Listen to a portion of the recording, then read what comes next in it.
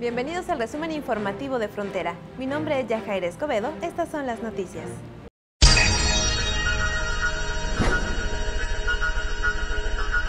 La mañana de este martes se llevó a cabo una reunión con diputados federales en las instalaciones de Canaco, en donde fue abordado el tema de la venta de autos usados irregulares.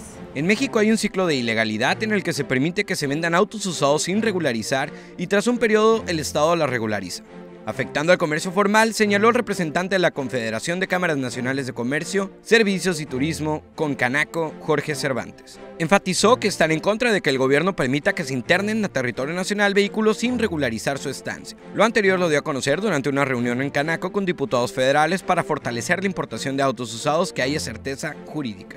Debido a trabajos de rehabilitación en el acueducto Florido Aguaje, la Comisión Estatal de Servicios Públicos de Tijuana suspenderá el servicio por cinco días en 350 colonias.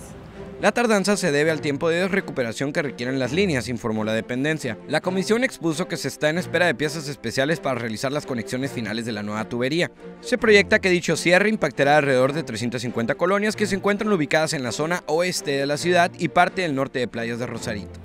A partir de mañana la gasolina costará 36 centavos más. A partir de mañana el litro de la gasolina magna costará 36 centavos más caro y el de la premium 44 centavos más caro, de acuerdo a lo anunciado este día por la Secretaría de Hacienda y Crédito Público.